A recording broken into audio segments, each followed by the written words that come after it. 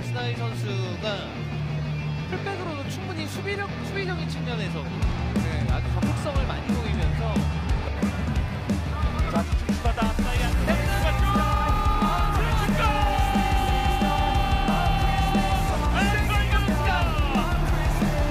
3대1 Hai Football Lovers, kembali lagi di channel Chan Jazil Sport. Pada kali ini kami akan memberikan informasi seputar dunia olahraga. Seperti apa videonya? Mari kita simak bersama. sangat bikin takjub publik. Semua senang, semua bahagia. Cetak gol debut menjadi penentu kemenangan. Pemain asli keturunan Indonesia yang bermain di luar negeri berhasil mencetak gol debutnya dan menjadi penentu kemenangan kala menghadapi lawannya. Tendangan spektakulernya berhasil mencuri perhatian publik. Pemain asli keturunan Indonesia tersebut adalah Asnawi Mangkualam. Asnawi sendiri adalah pemain timnas Indonesia bermain di Liga Korea dan menjadi kesayangan sang pelatih asal Korea Selatan, Shin Taeyong. Tentu ini menjadi kebanggaan tersendiri bagi kita dan Coach STY. Bravo Timnas Indonesia. Respon menakjubkan pelatih Eropa usai Asnawi Mangkualam cetak gol perdana untuk Ansan Graners. Gol tersebut merupakan gol perdana bek kanan andalan timnas Indonesia sepanjang berkarir di Korea Selatan.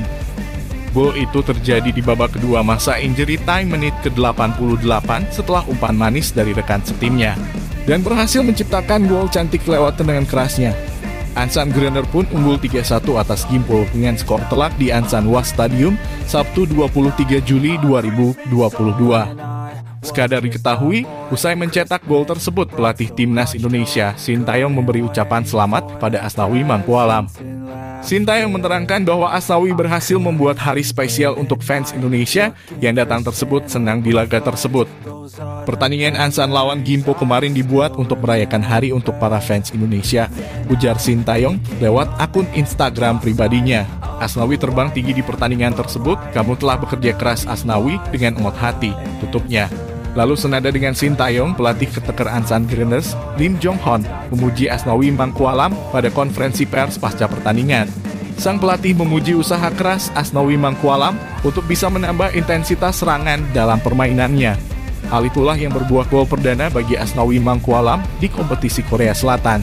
Dia Asnawi berlatih keras, dia diperintahkan untuk aktif naik menyerang bersamaan dengan bertahan, ujar Lim dilansir dari Sports Gay. Dia bilang dia adalah back yang agresif, jadi bisa mencetak gol dengan baik. Dia menggunakan perintah tersebut untuk terus membuat peluang menembak di babak pertama, lanjut Lim Jao Hon.